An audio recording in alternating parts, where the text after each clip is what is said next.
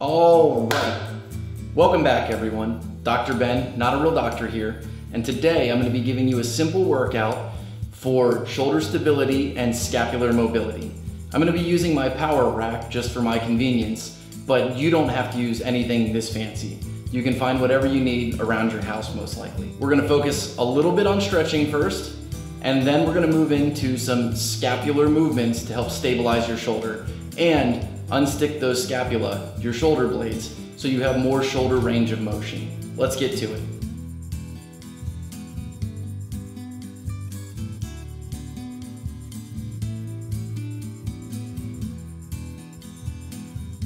Okay, we're gonna start with an active lat stretch.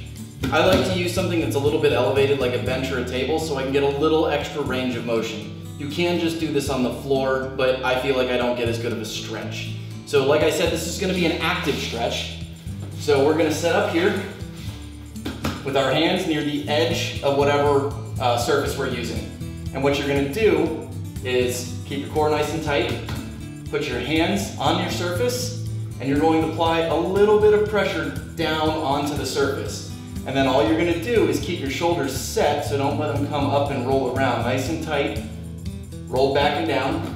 And then you're just going to sit your butt back. And you'll feel a pretty good stretch going on behind your shoulder, most likely. You may feel it somewhere different, but you're probably gonna feel it in, you know, in the back of your shoulder going down your back. So again, hands on the edge, push your hands down into the surface, set your shoulder, tighten your core, and shift your hips back.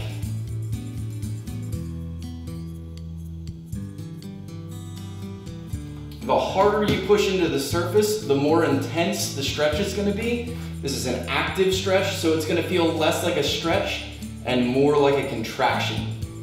10 reps of these. If you haven't done this before, start with very light pressure on the surface. If you go as hard as you can and you go 10 reps of these, you're probably gonna be really sore the next day.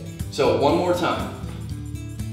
Hands on the edge of the surface, set shoulders, tighten core, light pressure into the surface, shift your hips back.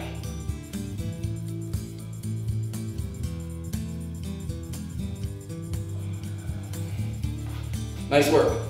After that, let's move into the exercises. Okay, we're gonna do some scapular pull-ups. All you need is a bar you can hang from, or anything you can hang from. I'm gonna demo the exercise. We're gonna do 10 reps of these. Grab your bar, and hang, let everything relax so you're hanging straight down. And then without using your arms, all you're gonna do is pull your shoulder blades down. At the top, hold it for just a second, and then lower yourself in a controlled manner to the bottom. Good, and when you do this, try not to rotate your chest up. Try and pull straight down. And from behind so you can see what I'm doing,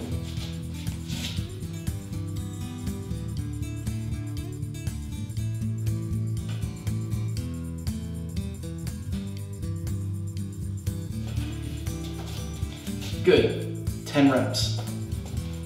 Next is scapular dips. Again, 10 reps, okay?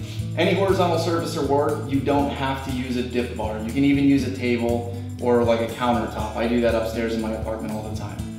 Very similar to the scapular pull-up, but working in the opposite direction.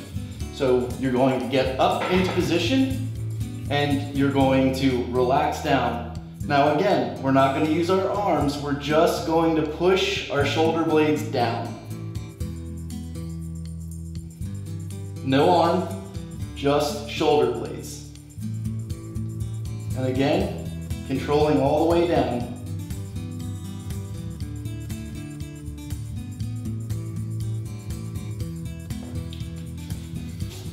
Ten reps. Let's keep it rolling onto scapular push-ups. This is gonna be like a push-up without using your arms. So get into a push-up position.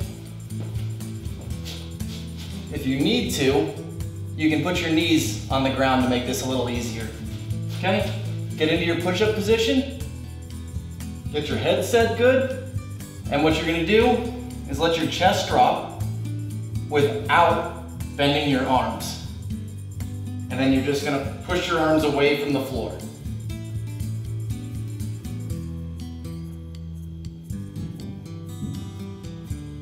You may feel a slight stretch across your chest if you're really tight. You may also feel a stretch along the back between your shoulder blades if you're tight there. One more time. Good position. Relax your chest down. Push your chest away. Try not to use your arms. 10 reps again. All right, so we got the push-ups. Let's not forget the rows. All you need is a vertical bar to hold on to. If you're really strong at this, the more parallel to the ground your body is, the harder this is gonna be. So we're gonna do this fairly simple. Grasp something in front of you, and then squat down just a little bit, okay? Get in a good body position, set your core, and let your shoulders relax forward. Now again, without using your arms, squeeze your shoulder blades together. Hold it for just a second and then relax back nice and controlled.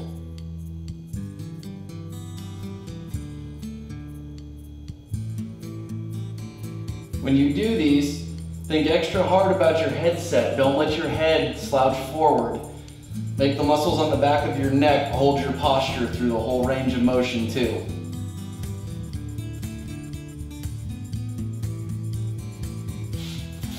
Ten reps on that one too. We're gonna finish up with overhead scapular push-ups. Now you can control how difficult this one is by how high your feet are from the ground.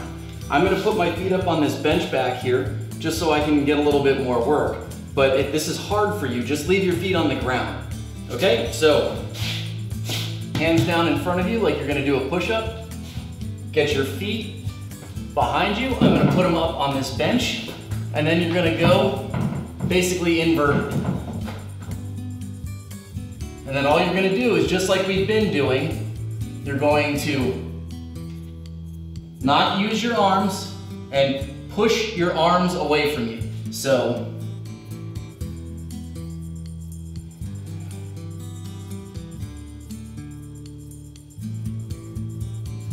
and just like every rep, slow and controlled, and pause when your shoulders are pushed up towards your ears.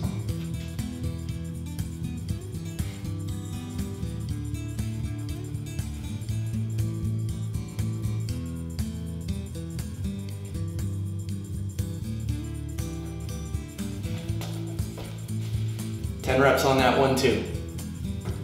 So there you go. Simple shoulder stabilization and scapular mobility workout. So one more time, that whole workout is 10 active lat stretches, 10 scapular pull-ups, 10 scapular dips, 10 scapular push-ups, 10 scapular rows, and 10 overhead scapular push-ups.